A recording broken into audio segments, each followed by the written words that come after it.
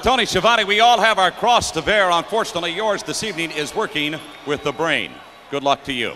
Standing by with me right now, the Nasty Boys. These two men have smelled the roses. They are former tag team champions. Tonight, they have an opportunity to recapture those coveted tag team belts that are currently held by the Harlem Heat. Keep in mind, they're going to be with Sister Sherri. Now, Brian Knobbs, Jerry Sags, certainly, gentlemen, going into a match tonight of this magnitude, you've got to have a special battle plan.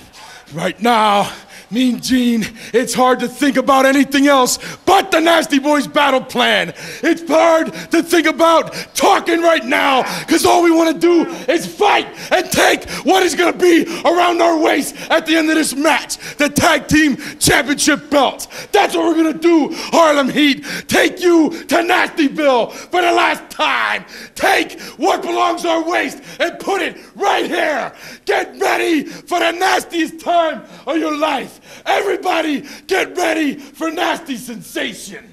You know, heaven forbid that sensuous, oh, I beg your pardon, Sister Sherri sticks her nose into this affair tonight, Brian. If she does, Gene, she's gonna get it smacked right off her stinking ugly face. Hey, Harlem Heat, the time for talking is over. It's either put up or shut up. The Nasty Boys are waiting. Hey, the time is ticking down. Hey, you gotta walk through Nasty Boulevard. Can you handle it?